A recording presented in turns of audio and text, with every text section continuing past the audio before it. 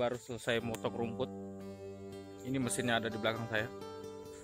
Uh, saya menggunakan tali blade tanpa mengikat tali simpul oke kita langsung lihat saja yang saya baru selesai motong. Buat teman-teman jangan lupa like comment dan subscribe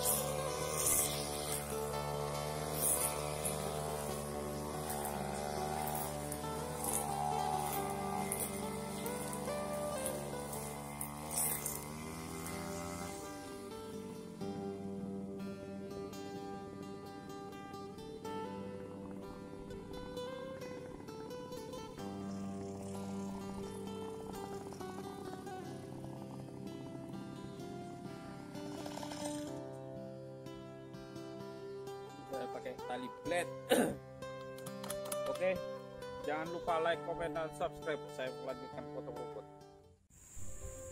Nah ini yang baru saya selesai potong menggunakan tali blade. Ini bersih.